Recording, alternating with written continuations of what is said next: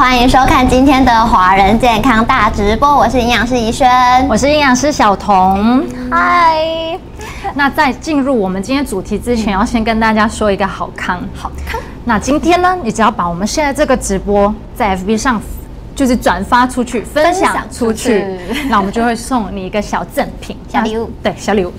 小礼物呢，就是一个像手机的那个什么指指环支架，对对，就是粘在手机背后那个东西。没错，那你只要把这个直播分享出去呢，我们就会送出一个赠品。对，所以你们不要犹豫了，快点分享。而且今天小礼物超多，几乎人人有奖哦。嗯，不要那么吝啬，快点 快点分享。来，我们来看一下，来看看有多少人进来了。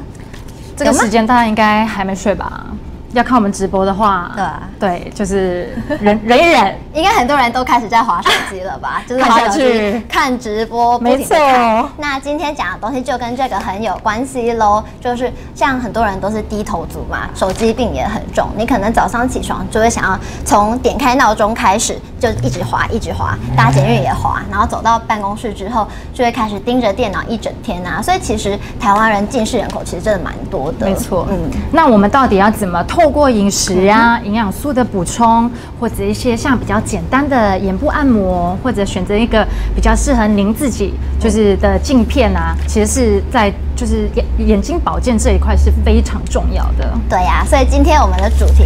非常的实用，那就是上班族眼睛太操劳，营养师来教你护眼小秘方。所以大家如果有这个问题，下班前觉得眼睛好酸，就要继续看下去哦。然后分享出去就可以拿小礼物，还有小礼物拿哦。对，好，那我们帮大家整理了三个，就是跟眼睛危机比较相关的一些问题嘛。那其实像常常用眼过度的上班族啊，一定要看到最后，相信我。绝对对你们有帮助。我好严肃跟大家说，要相信我，放轻松，好，我们放轻松听哈，不要紧张。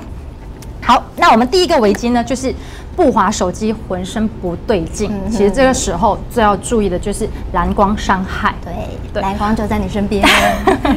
那我不知道是不是有些人会有那种坏习惯，就是就算没事，他躺着就睡觉前。就会先躺在床上，先滑一下手机，结果滑着滑着就不小心滑了两两三个小时。对啊，有时候我睡觉前就很喜欢看美食。你们不要否认了，我觉得应该有啊，深夜食物啊，然后就是啊，肚子好饿，不行要睡觉。没错没错，那我必须要跟大家讲，像这些三 C 产品，不管是啊我们手机嘛、电脑啊、平板这种，它其实散呃发散出来的蓝光呢，其实会造成我们眼睛提早呃退化，提早退化。没错。那其实啊我们。人体眼睛可以看见的可见光当中，像蓝电子的光，它其实眼部的穿透力是非常强的。那如果我们长期在接触这种光线之后呢，其实就是会对我们的眼部的视网膜细胞啊，或者是水晶体，其实会造成伤害。那光线到底会对眼睛造成什么眼部疾病呢？来跟大家讲一下。看什么眼？我们今天有准备可爱的小手卡给大家看啊。那就是光线呢如何伤害双眼呢？第一个就是白内障，白内障，不好意思，我马来西亚人可能 就咬字不清，我们我们都用 马来西亚人来讲这个。好，白内障，那白内障其实就是那个我们水晶体会比较浑浊嘛，看起来比较白白的那个。对，那就是接下来还会有角膜炎，然后跟黄斑部病变。病变，没错，这三个是我们比较常见的眼部疾病。对，大家要记起来，这个非常重要。对啊，所以大家要预防这些疾病。如果想要对，如果想要避开这个蓝光危害的话，我们该怎么做呢？怎么做嘞？怎么做？那我们就大家有没有？我们交给于轩来教大家。有人提到像我们的严玉芳同学，他就说蓝光眼镜有没有用？刚好就是这个，没错。其实有些人呢，像我们上面我看到有人说他眼睛有业障啊，这个时候可能有业障。如果说你是比如说常常盯着电脑荧幕的工程师啊，或者是一天可能要看电脑看十二个小时的上班族啊，嗯，那可能可以大家适适时的可以挑选，嗯，就是可以佩戴一些抗蓝光的镜片。那其实抗蓝光的镜片市面上有很多，那也不知道怎么挑选的话，其实你也可以到一些眼科诊所啊，或者是大部分的像眼镜行，他们都会有仪器可以帮你去检测，看你的镜片的抗蓝光率有多少。嗯，那这个时候就不用太担心。没错呀。那除了靠这种阻隔物理性的阻隔以外呢，我们营养师最喜欢说的就是告诉你怎么吃。怎么吃？有没有看到一整桌 一整桌的食物？我们就准备很多食材让大家看。对，这些食材呢都可以帮。助你保护你的眼睛哦。够吧？揪。嗯哼。那刚刚怡轩有提到，就是我们要戴眼镜来保护眼睛嘛。那第二个就是我们最擅长的，就是怎么靠饮食来啊补充一些营养素来保护眼睛。那我们今天可以先给大家看一下这个，我们有归纳出，可能看起来觉得很多，大家请继续要看下去。我先先跟大家讲个大概。那我们有统整出来有六个营养素，就是从叶黄素、omega three、维生素 A、抗氧化剂、锌跟硒。这样子，这六个，那我们今天都会围围绕着这六个来跟大家讲。对对，那首先呢，我们先来说叶黄素好了。其实叶黄素它跟啊，就是那个玉米黄素呢，它们可以啊共同共同合作，然后他们就是可以把就是在那个视网膜的形成一个防护罩啊。对，怎么了？我正在想，我是不是要一直拿着，大家才可以。注意看，呃，还是我们轮流拿也可以。好，那我打断了，我要继续讲。好，就是叶黄素跟玉米黄素呢，它们会在我们的视网膜形成一个像防护罩嘛，然后帮忙过滤那个蓝光，然后减少那个蓝光对我们眼睛的伤害。其实这样子，呃，哦，还有一个很重要的，它们的抗氧化能力也很强。它们可以消除我们眼部的一些自由基呀，然后减少我们细胞被氧化伤害。对，其实这个对于就是不管是黄斑部病变或者是白内障，其实都有就是很棒的很大的帮助。对对啊，像大家要记住抗氧化这一点，因为接下来也有很多食材，它的功效也就是在抗氧化、减少自由基这一块。那刚刚讲到叶黄素、玉米黄素，大家知道有什么东西富含叶黄素跟玉米黄素吗？有没有？大家知道吗？有吗？大家有说吗？我看到有一个蔡依文同学，他说南瓜 好大一颗。你是在回答我的问题吗？那大家应该有看桌上，我们有准备了很多食材。对啊。那我们等下会跟大家一一来说有什么。有看到我们。宋阿美同学说：“黄色食物都很固吧？揪吗？其实很多人都会觉得黄色的食物，因为从小妈妈可能就会说吃胡萝卜可以顾眼睛啊。那其实跌破你的眼镜是深绿色的蔬菜，有时候它的叶黄素啊、玉米含黄素的含量还比较高，像这边。”看到这个，这个是地瓜叶，它的叶黄素、玉米黄素含量其实就蛮高的。但另外一个比它更厉害的是菠菜，但是我们没有买到菠菜，因为可能因为前几天雨太大啦，所以其实我们到前面前几天下雨真的太夸张了，就是到超超市都买不太到蔬菜，嗯，几乎没没什么东西可以买。所以如果你买得到菠菜的话，可以吃菠菜；那买到地瓜叶的话，也可以吃地瓜叶。那另外像是豌豆啊，或者是呃鸡蛋。鸡蛋其实也是不错的叶黄素、玉米黄素来源，然后还有像这个很大颗的南瓜，其实它也是不错的叶黄素、玉米黄素来源哦。嗯哼，嗯，对。然后这样真的蛮大颗，我也觉得它这个，而且它很重。我看呃，看一下有没有人对，有人说蛋黄没错。那我看看哦，接下来我们刚刚讲到叶黄素嘛，那下一个就是 omega three，来这个要交给你们，还是我放旁边就好了？嗯。对，这个麻烦哦，我帮你拿。好，来，那接下来就是讲到 omega three，像很多人讲到 omega three 啊，DHA，可能就想到，哎，这不是顾脑袋用的吗？那其实它也是对于保护眼睛有很大的重要性。那就是因为我们的 DHA 呀，它对于眼睛视网膜里面的感光细胞有很好的保护，还有促进它生长增生的作用。那通常我们讲到 DHA，你会不会想到它的好兄弟？大家知道是什么吗？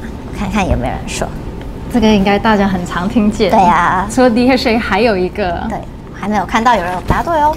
应该你可能要等一下。怎样？我这个那不然你要猜一下啊？好啊，那就由我回答，这样有点作弊啦。但是没关系，我会告诉大家，DHA 的好朋友就是。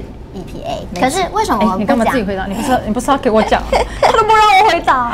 哎呦，哎呦，反正但是因为它今天不是重点，重点是 DHA，真的不是重点。因为像我们的视网膜有一个视网膜的血管呐，然后它跟一般的血管之间有一个叫做血液视网膜障壁，那它就像一个挡在我们视网膜血管的墙壁一样，那只有 DHA 可以传达。穿过去，那 EPA 过不去，所以呢，只有 DHA 它对于我们的黄斑部啊、感光细胞是比较重要的。对啊，它可以维持我们的视视觉，然后让你的物体在你的脑袋清，就是显示的比较清晰。嗯，那我们的 DHA 有哪些食物嘞？大家不知道会不会很常听见？其实每次讲 omega three 的话，其实很多人都知道，其实跟深海鱼类就很有关，因为大家就会说鱼油嘛。那其实还还是建议大家可以多吃一些像啊鲑鱼啊、尾鱼啊、秋刀鱼啊、青鱼这种，其实都是还不错的选择。像我本身，我觉得其实就很喜欢吃鲑鱼跟尾鱼，我也超喜欢鲑鱼的，超好吃。鲑鱼也很喜欢。讲到吃，你看我们有两个笑的跟花一样。好，那如果如果本身不太爱吃鱼的话，你还是可以从像一些坚果，像核桃啊，或者像是芥花油这种植物油来来摄取这个 omega three。嗯啊，我好，你补充一下。我刚好看到有一个刘乃华同学，他说很容易眼睛干，怎么干？就刚好我刚刚原本想要补充一个 omega three 的东西，就是说就有。就是文献中有指出说，如果像一般我们常常待在冷气房里面嘛，或者是用电脑用很久啊，我们不是会容易就是眨眼的次数变少，容易眼睛干干的。那像台湾干眼症的人其实也不少，蛮蛮多。对啊，像我身边有蛮多人，像办公室里的同事也都会有干眼症的症状。对，那这个研究就是说，如果你长期补充就是适适度的摄取 omega three 的话，其实也可以改善干眼的症状，没错，让你的眼泪分泌比较多。然后我看到一个叫 Alan Yu 的。朋友同呃网友 网友啊，他说我眼睛疲劳的时候都会吃叶黄素，这样是不是真的有帮助？呃，那我必须说，叶黄素它其实具有就是我们过滤蓝光嘛，然后还有提跟呃提提提高我们 就是视觉的敏锐度或者抗有抗发炎的功效。那其实呃应该说它其实是我们视网膜跟水晶体的一个一种养分，但是它你要说它能不能控制近视啊，或者是？改善眼部的疲劳啊、干涩啊，或者是老花的问题的话，其实它不算是有非常大的帮助。那我必啊，我嗯。总的来说，叶黄素它是有益于眼睛的健康，但是它并非是解决眼睛问题的万灵药。就是每个人都会以为说眼睛有问题，就是啊，我都吃叶黄素，都吃叶黄素这样。但其实它们不是药，就是食物并非药，它主要还是作为保健，对，跟平常保健。对，没错。所以大家还是要有这个观念哦。对，这个问题问的很好，不错错。我看到好多人很想收南瓜，怎么办啊？很多人 超想要南瓜的。好，我们来拍卖，最后节目最后再跟大家说底是多少，好不好？我们先开个底价好了。开底价，小编怎么说？要不要？要不要竞标南瓜？所以小编今天工作是竞标南瓜吗？感觉南瓜拿来送好了啊！南瓜拿来送，会有人要？抽一个粉丝送南瓜真的吗？不要那个粉丝说，哎呦，我怎么那么衰？我们南瓜妈妈怎么说？南瓜妈妈说 OK 吗？好，我们等下讨论一下，看他们讨论一个。一个结果出来，我再跟大家说可不可以送南瓜。没错，来看看有人说什么啊？我看到尹玉芳说，我想要那个鲑鱼。啊，你想吃鲑鱼吗？跟我一样爱吃鲑鱼，不错不错，这样很好，可以补充到 omega three。对，那接下来刚刚讲到叶黄素跟 omega three，那现在啊，对，好，我们来来来来来，来我们来说，我们第三个要讲的就是。维生素 A，其实很多人应该都知道，维生素 A 跟眼睛其实有很大的关联性吧？那是因为呢，维生素 A 它是啊构成我们视脂质的一个很重要的成分，它不只是啊可以，就是可以维持我们正常的视觉啊，然后或者是我们多补充一些。植物性的比较多那种贝塔胡萝卜素的食物，为什么我会说贝塔胡萝卜素呢？那是因为贝塔胡萝卜素它其实是 vitamin A 的前前行脂，哎，那个应该叫前行脂吧？对，前行脂。那它其实在我们体内呢，有大约是六分之一会转变成维生素 A。其实补充它，呃，补充不可以说它补充贝塔胡萝卜素呢，其实也一样可以摄取到维生素 A。对，就它会变成维生素 A，对不对？没错。嗯，那它啊，贝塔胡萝卜素它本身也有抗氧化的能力。所以它其实对于眼睛的健康也非常的重要，只是需要提醒大家一点，因为像像我们平常在吃如果维生素 A 啊或者贝塔胡萝卜素的食物的时候，其实要搭配油脂一起吃，那是因为这两者它算是是脂溶性的维生素，那搭配啊会溶解在油脂里面，所以很建议大家在用来入菜啊或者是在饭后吃，其实效果会更好。对那我们饮食上有什么东西是维生素 A 的呢？嗯，我看看，像嗯维生素 A，其实我们今天比较没有没有买到，对不起。可是维生素 A 像是鱼肝油啊，大家应该蛮常听到吧？有些妈妈可能会买那种胶囊，鱼肝油的胶囊，对那个也是不错的维生素 A 来源。嗯然后还有动物的肝脏啊，或者是蛋黄，都是很好的食物来源。那另外像刚刚小童有说那个贝塔胡萝卜素嘛，嗯像是前面看到这个深绿色深绿色蔬菜，或者是深黄色的。你又 Q 到南瓜了吗？我就觉得 难怪好忙哦就很想要看到它。对，深绿色或深黄色的蔬菜都是不错的贝塔胡萝卜素来源哦。没错没错但是有一个小小点大家要注意，就是像因为前面有提到叶黄素嘛，就是很多人护眼会吃叶黄素。那但是高浓度的叶黄素呢，跟高浓度的贝塔胡萝卜素，它们可能会互相影响，就是会影响你的消化吸收率。所以就是注意说，你不要两者同时都吃太多。但是如果你只是一般，比如说我想吃一些菠菜加蛋加胡萝卜的话，这其实都是 OK 的，不用太担心。主要就是经过油烹调，然后或者是把它切碎啊打成汁，来增加一些消化吸收率都不错。嗯嗯，OK 吗？来我看到一个叫周美珠的，她问说，很多干眼的患者是不是都是因为看手机而引起？嗯那就要多吃叶黄素是吗？还有一个刚刚也有问到说，是不是干眼症的那个？对，那我就要跟大家讲一下，其实应该是说，因为你你看手机很常会有有点像忘记眨眼睛，对你就是盯着太专注，对，太专注盯着电脑就这样。嗯没错，你们你们可能自己没有发现，但其实真的会就是盯着太久，然后忘了眨眼睛，所以其实泪腺分泌也啊泪腺分泌对 也会变得比较少嘛。那你刚刚问说是不是要多吃叶黄素吗？其实如果对于干眼症，我们刚刚也有提到说可以像补充维生素 A 啊，因为维生素 A 它其实是可以啊帮助维持我们泪腺分泌的正常啊，然后或者有助于平衡我们泪腺分泌。那其实如果呃我们维生素 A 缺乏的话，会导致我们那个泪腺的上皮组织角质化，然后就会变成我们泪腺分泌量就会变少嘛。那角质跟结膜啊就会变得很干干的，干干干的，对，所以你们才会就觉得是干眼。干啊就会有干眼症啦。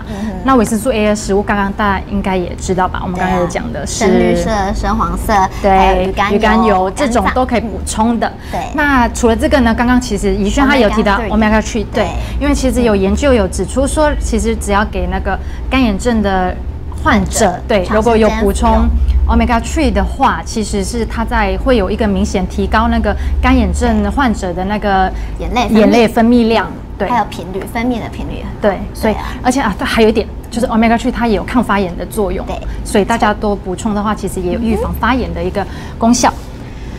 好，这个问题很很不错。对啊，原来眨眼睛会忘记，只是很多人没有眨都不自觉。等一下，我看到一个乌米问说，小编的眼睛看起来很明亮，都吃什么顾眼睛呢？小编，小编你要自己回答吗？哦，其实我他 们我那个公司的叶黄素 我跟你说，很多人都说他想认识小编哥哥。因 为我们有一个林迪林朋友说，我想认识小对，编，还有还有一位叫做哎、周文婷小姐的，她说要求认识、求认识小编哥哥。哥哥你红了，哥哥。哥哥，好，哎呦，你看又打乱了，我们刚刚讲到来来来，食物了，回来可以不要再看小编了？好，不要看小编，这里看看看看我们。看看我们，等一下再看它。那刚刚讲了叶黄素，嗯嗯，omega three，维生素 A，接下来有一个应该大家都很常看到这个叫做抗氧化剂。但抗氧化剂，你可以看到后面它讲的其实不是单一的食物，其实有很多种，像是我们等下会介绍到花青素啊、维生素 C 啊，或者是维生素 E，都是很好的抗氧化剂。没错，对，那首先我就要讲一下花青素。大家知道什么东西里面有花青素吗？我觉得这个大家可能会觉得陌生一点点，可能女生比较知道啦。对啊，女生应该会注意吧？哎，花青素花青素听起来也还蛮漂亮的，蛮漂亮，用用漂亮来决定自己要不要认识这个东西吗？这个应该很多人喜欢吃吧？像我就很喜欢，像这里大家可以看到，他这超爱蓝莓的蓝莓，好喜欢吃蓝莓。还有这个 然后还有这个 长得很健康的。发发育良好的漂亮的茄子，像这种紫蓝色的东西呀、或者是黑莓啊，都是不错的花青素来源。嗯那花青素它其实也是很强的抗氧化剂，那另外它也可以帮助我们的柿子值增生。那柿子值呢？它也是脂质，来跟我念一次柿子。值。对，是柿脂子质好了，对我好像没有什么资格教台湾人中文。绕口令。柿子值它其实也可以帮助我们的眼睛感光，就是维持我们视力清晰啦，所以也是一个很重要的护眼营养素哦。嗯哼，好，好，那我们讲到花青素了嘛，下一个就是大家一定很常听到的，就是抗氧化剂超有名的，就是维生素 C 嘛。那其实大家知道维生素 C 对于眼睛有什么帮助吗？它其实是可以，就是防止我们视网啊、视网。你看，我们今天都在卡词，视网膜，对，会会防止我们视网膜被紫外线伤害，或者是啊、防止那个我们水晶体的退化。而且其实最重要的是，它其实可以增强我们眼眼睛里面那种细小血管的韧性，而且可以帮助修补那个细胞，所以它这样子其实是可以帮助增进那个眼睛的健康的。对啊，那维生素 C 的食物，我觉得大家应该都知道吧？应该很常听见，就是这个，像芭辣，芭辣其实就是维生素 C 很高的一个水果，然后这个像是柑橘类对，柑橘类啊、奇异果啊、跟啊、草莓啊这种啊，还有甜椒，都是维生素 C 含量很高的水果跟蔬菜。蔬菜，没错。错。那除了维生素 C 以外嘞，大家还有另外很常听到的抗氧化剂，应该就是维生素 E 了吧？这个大家应该不陌生，其实就是这个坚果，很多人都喜欢吃的坚果，它也是很好的抗氧化剂来源。来，对对，结果好，既然你拿到这，我吃一个好不好？好啊，可以吃。我 饿了吗？节目做完了吗？哦，我觉得好好吃哦，你可以吃一个啊，没关系、感觉很像我贪吃，不会啦。当然我可以吃蓝莓，我等一下换你讲的时候我吃蓝莓好。好好吃哦。所以其实因为维生素 E 大家也不陌生，嗯嗯，那就简短介绍。来下一个，这边这边，嗯，锌来，锌，下一个，我们前面讲了四大类的嘛，那我们现在再讲一个锌。不好意思，我还在教我的杏仁。好，不好意思，我这会不会被骂？好，那锌通常我们来说锌在嗯眼睛扮演什么角色呢？其实应该这么说好了，其实缺乏锌的时候，它会影响我们整个维生素 A 的运运转。是说运转，对运转。然后呢，其实维生素 A 的运转减少之后，就表示维生素 A 的合成减少嘛。那维生素 A 减少的话，那表示我们视网膜的视脂值呃视脂值视脂值 视脂值的的那个合成也减少，所以进而其实就会影响我们晚上就是暗视力的能力。嗯，没错，不要笑了，各位。然后锌呢，还有一个就是它的抗氧化是抗氧化的能力也非常强，所以它其实对眼睛的啊、保养啊，或者是对于维持眼睛健康也是非常重要的。那什么东西还有新，大家知道吗？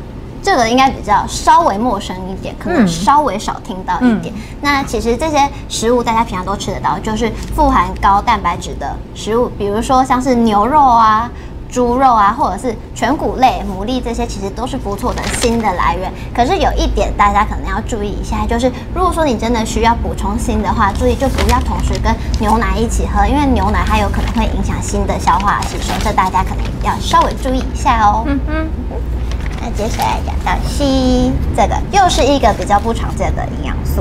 对啊，我觉得应该很很比较少人听过这个。对啊，但是不过硒其实也蛮重要的，因为它在我们的视网膜啊，或者是虹膜的含量其实都不低，那也是可以维持我们的视觉啊跟影像呈现很重要的一个营养素。那也有研究显示说，就是硒它对于我们眼睛疲劳啊可能会有一些作用这样子。那大家知道有什么东西还有硒吗？硒我看我们这桌上有没有？好像是动物性来源的话，有动呃，就这里没有哎，肝脏，对啊。肝脏啊、瘦肉或者海产类，像那个蛤蜊也是，对它都是蜥蜴的就动物性来源还不错的选择。那如果你哦是。蛤蜊吐沙没有？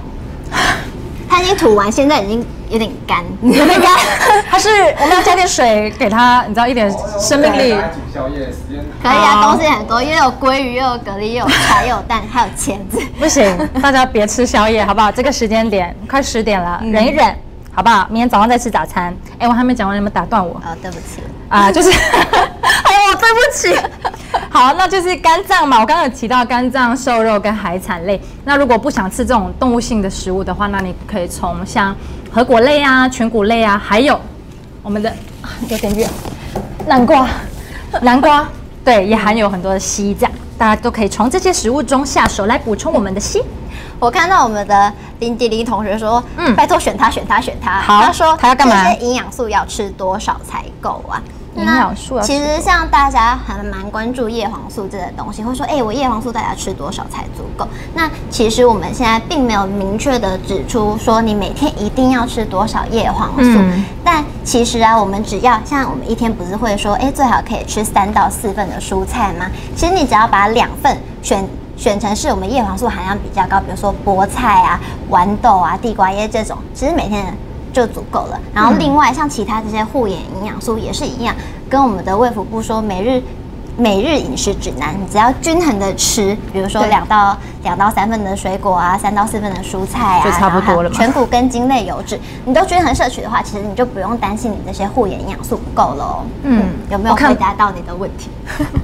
我看到一个很可爱的廖小瑞网友嘛，他问我营养师是哪里人？你是哪里人？呃我是台南出生的台北人。那我是马来西亚出生的马来西亚人。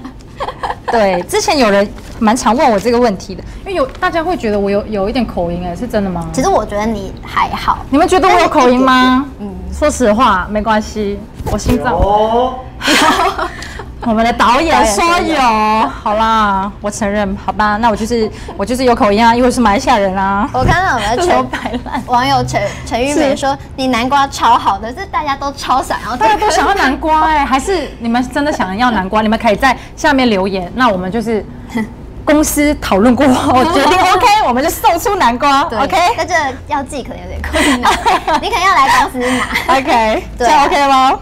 我好看一下，那小编是哪里人？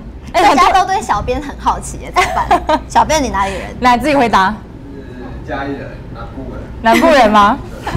哎、我发现好多人答对，我是马来西亚人呢，不错，大家平常谢谢大家有在关心我，我的台湾过得很好哦。吧，因为之前已经说过你是马来西亚哦，是吗？所以代表示大家也每次都有锁定我们的直播，对不对？棒，拍手！不错不错，哎拍手好，硬要 Q 大家。我刚刚我刚刚就看到 看到有有一个蔡婷同学，他说所以锌和牛奶要分开吃，对锌和牛奶可能要好。也如果你真的要补充锌的话，最好要分开吃，就是餐后大概的半个小时以后，你再喝牛奶会比较好哦。南瓜跟茄子都超巨大哦，台湾的蔬台湾的蔬果真的都长得真很好的又很好吃又很甜，我觉得很好吃，台湾的蔬果类我都非常爱。我也是。好了，不行，我们现在我们现在聊聊聊太远，我们回来对。我们刚刚，哎，其实我们在刚刚危为止 为止都还在讲第一个危机耶。对那我们现在 最好要进入第二个危机喽第二个危机是什么呢？好，就是上 班超时，心好累，那眼睛更累。嗯，没错，因为像现在上班族啊、超时啊、加班，其实已经像是很稀松平常的事情，很很日常的事情嘛。嗯那像我们平常其实不管是像我们现在在工作的时候，也是在滑滑滑平板嘛，对啊所以其实眼睛会觉得疲劳啊，会酸涩，其实是不意外的，是很正常的。而且再加上不管是像上班上上上班族、学生、家庭主妇等，这些人人都是低头族，然后大家都是边走边划手机，一时看近，一时又看远。其实你眼睛就是单单只是为了。调调节这个焦距而已，它就其实已经好累了。对啊其实这样久而久之会变成眼睛会越来越有负担。所以现在又讲到挑选镜片，可能大家市面上应该就是有蛮多那种多焦镜片嘛，因为像我爸爸还有我阿妈都有戴那种多焦镜片，你可能看比较稍微上面一点，它可以的地方就可以看远也很清晰，看近也很清楚，就会。减少你眼睛的负荷，帮你调节焦距。没错对啊。那另外像我个人的话，可能我用电脑用每一个小时啊，我就会起来走一走啊，然后让眼睛休息一下，或者是按压眼眶，按压眼眶做一些小小轻微的按摩，就轻轻的啦，轻轻的按一按。对啊，可是大家要注意，因为很多呃，应该说不少人啊，他在按的时候会按太压力，我觉得哦就松快，就是按得很用力。但是这样子的话，或者是按到眼球，都可能会造成你的视网膜剥离啊，或者是造成一些水晶体的压迫，大家要多多注意。嗯，没错，那像我发现还有情一个情况是，我听过有个朋友跟我说，因为他喜欢暖暖包，不是热热的嘛，他就想说他拿来敷眼睛两片这样敷着，然后敷个半小时左右。其实我听到的当下是吓到的耶。因为暖暖包本身它的温度算蛮高的，因为它至少会高过四十度嘛，然后至少可能会到六六七十度左右。那其实你这样子长时间的这样子敷的话，其实会造成轻轻微的烫伤。对啊，低温烫伤对，，所以我们其实实不太建议这样子使用。嗯当然，热敷对眼睛还是有好处，是因为它其实可以促进我们眼周的血液循环啊，可以舒缓我们眼睛的疲劳啊这种。嗯但是建议还是可以提醒大家，你真的要热敷的话，大概就热敷五到十分钟，而且温度一定要维持在四十度左右就好，记得是四十度左左右就好。所以可能用热毛巾吧，对热毛巾之类的会比较好，嗯比较好调节温度，尽量不要太久哦，五到十分钟真的就差不多了。会有点像慢火煮、小火煮青蛙那种。对我其实真的吓到，我想说暖暖包真的好烫哦，嗯，这样子不行。小贝刚刚提醒，他在远方一直招手说，要记得大家要分享直播哦，分享直播，大家会送小礼物给大家。对们中间再提醒大家因为今天小礼物真的好多，对，五十个，五十五十个，听到没有，各位？今天小编桌上就有成山成谷的那个手机 他都看，他都看不到他的电脑了，因为都都这样。对啊，四十度要用温度计测一下，也没有这么严重啊。但是你摸的时候不要感觉烫不。要烫手就好，以不烫手为基准。嗯，我发现又被南瓜又被 Q 到，因为 Alex Wang 说我要那颗南瓜，你要那颗南瓜，要寄到马来西亚，好像真的有点难哎，它好重哦，超重，非常。对啊，跟婴儿一样。对，那大家如果好，我再次跟大家说一次，如果您本身真的很想要这颗南瓜的话，请欢迎留言或者在分享对，在私讯给我们小编说你真的非常想要这颗南瓜，我们看在你的诚意上，我们会请公司就是送给你们，好不好？不然可能但只有一颗哦。对，好好回来回来。好，那刚刚讲到要热敷眼睛嘛，对还有另外一个，前一阵子好像有流行过的是那个护眼啊按摩眼罩，按摩型的眼罩，就是它也是放在眼周，然后帮你按压。但这个使用起来也是要注意，就是说使用时间也不要过长，那注意也是按压在眼眶，不要压到眼球。那你每个礼拜可能不要天天用，两三天用一次就好。那另外，如果你最近啊有动一些眼睛镭射啊，或者手术，或者是你是高度近视，有刚刚讲到那三个白内障啊、角膜炎等等、嗯眼睛疾病的人，使用之前都要先询问眼科医师会比较好哦。没错，那目前为止就是我们第二个危机嘛，对就是在讲说，啊，我们眼部的一个疲劳的话，我们可以做一些要要注意哪些小动作或小行为。那我们现在讲第三个危机就是户外爬爬照，紫外线晒伤眼睛。那讲到这个，其实就像台湾的夏天，其实太阳真的很猛烈。对虽然我觉得马来西亚没那么热。但我因为我、因为我觉得台湾的夏天我真的有吓到，因为我今天走在外面去吃个午餐，我就觉得我快被融化了。那个汗就一走出去就开始红，对吧？你你也有认，你也认同吧？超热，然后那那个紫外线光，也很刺眼。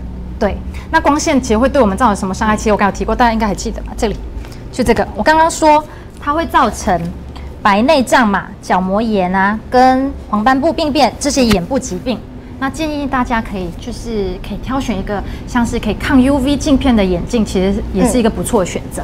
对啊，那除了抗 UV 以外，像现在是市面上不是有很多就是很好看呐、非常有造型感的太太阳眼镜，但其实大家要注意，因为有有一些太便宜的，它可能只是把它染色而已，那嗯染色其实不太能过滤到 UV，然后也不能遮偏光。那要小小提醒大家一下，就是我们选择镜片的时候啊，除了太阳眼镜，除了要选择一些抗 UV，也可以选择这种有偏光膜。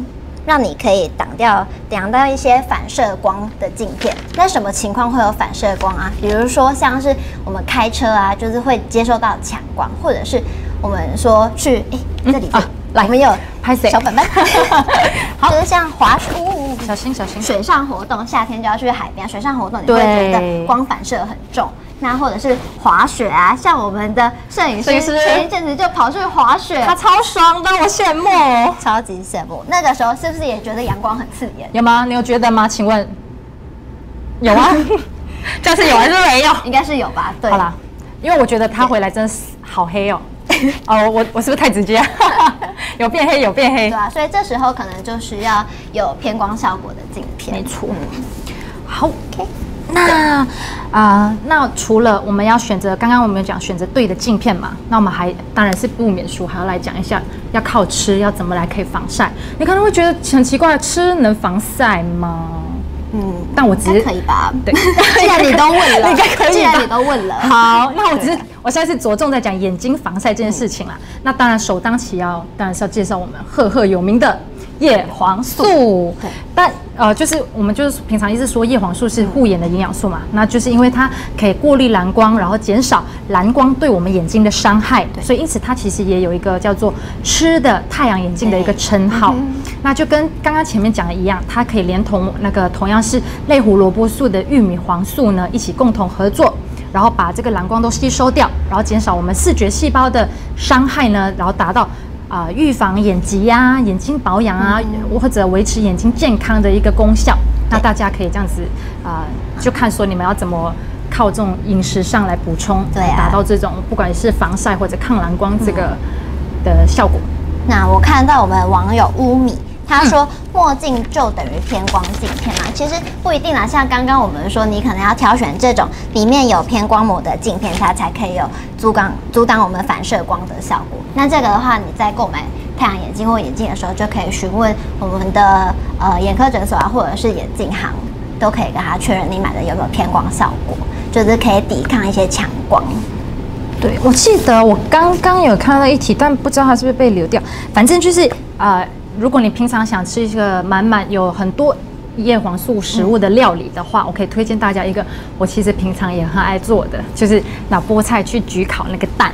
其实其实非常对简单，你就是准备洋葱啊、番茄啊，然后刚刚我们讲菠菜嘛，然后就是你这样子先去给它拌炒一下，那它热了之后，你就用那个盐跟黑胡椒去稍微的调味，再倒入我们捣好的蛋液去焗烤个十到十五分钟，出来叮就很好吃了。这就是一一道满满对满满叶黄素的料理，大家可以参考一下这点。哎呀，这道还不错，这个我很喜欢吃。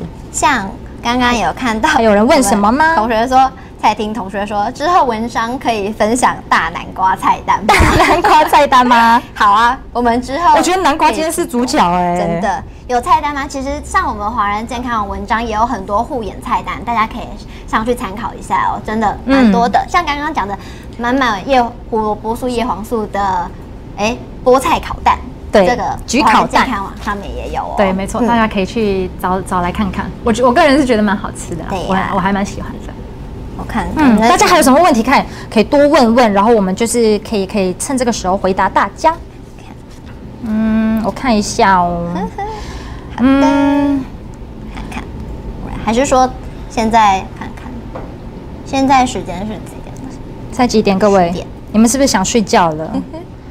好吧，其实我求们也累。护眼食谱 Top Ten，十道食谱，好，我们努力把它选出 你来。是说写成文章吗？没错，文章的话可以，大家稍等我们一下下，要给我们一点时间。对，OK，我再看看各位，其实我划不到我的问题耶，大。家，南瓜煮豆浆可以天天吃。我看到一个说，其实各种食物都要均衡一下，就不一定你每天都吃，偶尔吃一下，各种都吃最好哟。对，就均衡饮食啦，不要说特别说啊，我只想吃什么，然后我就狂吃那个东西，其实不太啊。讲到这个，跟大家讲一下，像我们刚刚有提到维生素 A，但其实大家有听过说维生生维生素 A 吃过量的话，其实还是会造成中毒，就像是。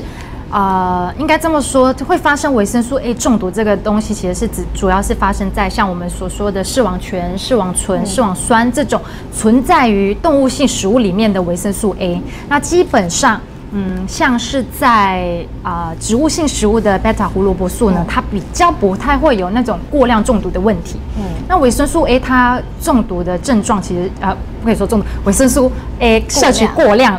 嗯的症状可能会比较像是啊、食欲不振啊、恶心、呕吐、腹泻这种。那一定要提醒，像是在第一孕期的妈妈们，你们只要不小心摄取过量的维生素 A 呢，其实会就是提高胎儿畸形的几率，这个是很严重的一个问题。嗯你们一定要注意一下。对啊对，那维生素 A 过量，我想想看，我记得还是会造成肝脏异常啊、肝脏肿大，而且还会造成那个我们的骨矿物质流失，造成我们的骨质比较疏松，然后容易骨折。这个是一个需要大家要重视的一个问题哦。不要说 我今天就想补充很多维生素 A，我就狂吃鱼肝油就觉得啊、我最近眼睛不好，我就吃了。明明上面只是只跟你说吃一颗，那你那天吃了三颗，这样对吗？过犹不及都不好哦。对而且像讲到维生素 A 过量，我之前就有朋友问过我说，哎、维生素 A，因为像那种橘黄色的东西一直吃，是不是你皮肤就会变红？那其实当然，如果说你如果说你像类胡萝卜素，它其实有天然的橘黄色的色素在里面，它本身天然的色素如果你每天都喝胡萝卜汁的话，那有可能你的皮肤是有可能会变黄黄的，可是嗯不用太担心，因为只要你停止这样子每天过量的行为的话，过一个月、半个月之后，它其实就会自然代谢掉了。所以任何食物都过犹不及，不好。对，好，看看我的时间。好，时间是否差不多了？那再跟大家讲一次，你们只要今天把我们这个直播分享出去的话，我们会送你好康小礼物，就是这个，就是刚刚我们有也有在提到的嘛，就是那个手机的支架。支架，手机支架。那大家快点多多分享，有分享有就有得到一个喽。嗯嗯，不要怀疑，我们会送出一个。好不好？那我们今天直播就只就到这里喽，嗯很开心跟大家聊得那么开心。那南瓜你真的很想要的话，记得你就留言在下面留言没错，你跟我们小编讲，会看的好不好？嗯好，好，OK，好吧跟大家说说拜拜。拜拜拜拜。好吧，好啦那我们要回家睡觉了，各位。要保护好眼睛哦。对，不要再玩手机喽。拜拜，晚安。